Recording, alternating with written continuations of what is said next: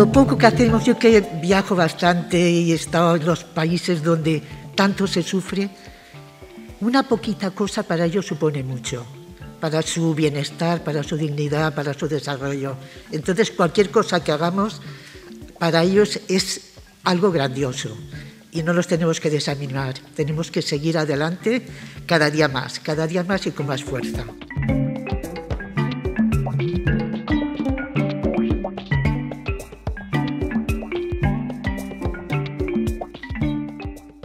En el fondo, frenar la desigualdad está en las manos y en el corazón de cada uno de nosotros.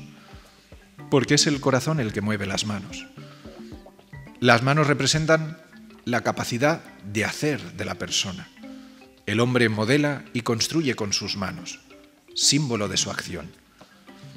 Y el corazón es el centro de la persona, donde se juega quiénes somos, nuestra esencia es en el corazón donde se juega el partido de lo que haremos con nuestras manos. Las manos no son nunca un problema, pero el corazón es a veces inconstante, se desanima, lleva mal la frustración, el fracaso, el ridículo, se siente débil.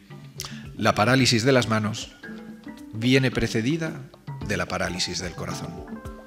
Si el corazón se siente así, las manos no frenarán ninguna desigualdad. Se frenarán ellas mismas porque no hay corazón que las mueva. Pero si el lema nos lanzaba un reto para estimularnos, es Dios quien nos da las fuerzas y los ánimos para responder. Porque eso sí, estamos todos en sus manos. Manos unidas está en las manos de Dios.